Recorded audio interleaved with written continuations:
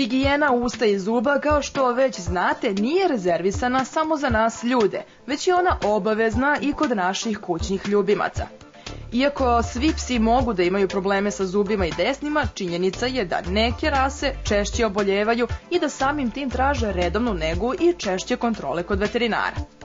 U većini slučajeva u pitanju su male rase pasa, gde postoji predispozicija zbog same anatomske građe usta, zbog vrste hrane koju jedu i dobar primer rase koja ima sklonosti i probleme vezane za kamenac, paradentozu je pudla, Aki, stara 10 godina, koja je u našu ambulantu došla zato što su vlasnici primetili neprijetan zadah iz usta. Upravo taj zadah je razlog zbog koga se vlasnici najčešće obraćaju. Zadah je posledica nakupljenja mehih naslaga na zubnu površinu koja predstavlja zaostatak od jela.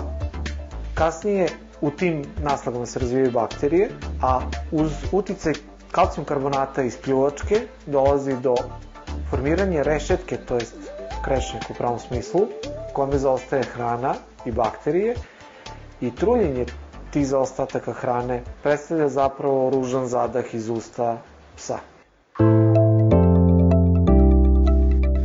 Kao i kod nas ljudi, ukoliko ovaj proces duže traje, pod uticajem bakterija koje se tu stvaraju dolazi do upale desni, to jest do paradentopatije, pri čemu se desni povlače.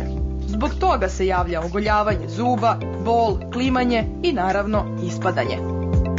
Stanje u akijevim ustima je bilo takvog stepena da nije bilo moguće samo ukloniti kamenac, nego je bilo neophodno pribeći radikalnom delu intervencije vađenje zuba.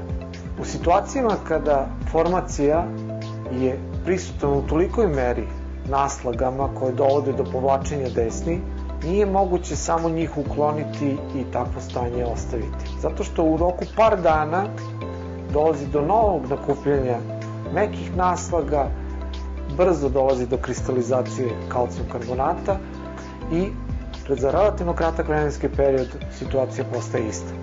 S druge strane, ogoljen zub izrazito boli, naravno ako ih je u pitanju veći broj, takva jedinka onda slabije jede i dolazi do progresivnog mršavljenja i do razvoja pojedinih bolesti.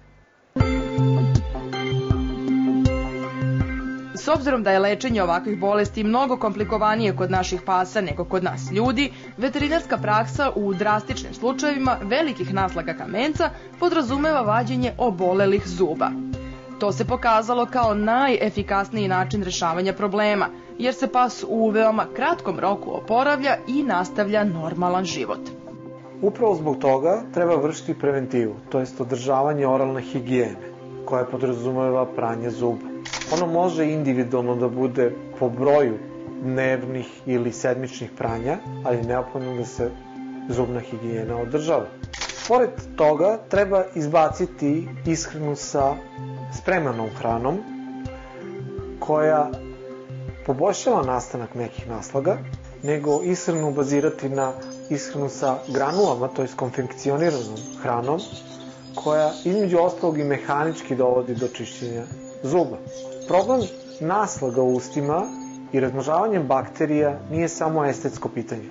U većini slučajeva su prisutne anaerobne bakterije koje veoma lako prelaze krvnu barijeru, ulaze u cirkulaciju i zatim opterećuju rad pojedinih organa kao što su srce, bubrezi i jetre, što dovodi do ozbiljnih oboljenja. Iako psi u kućnim uslovima mogu sasvim normalno da funkcionišu i bez ovih zuba, bolje je da se oni redovnom negom sačuvaju.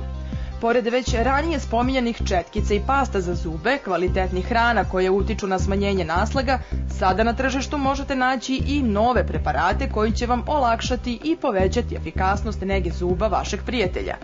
U svakom slučaju posavetujte se sa svojim veterinarom i svom psu perite zube kao i sebi.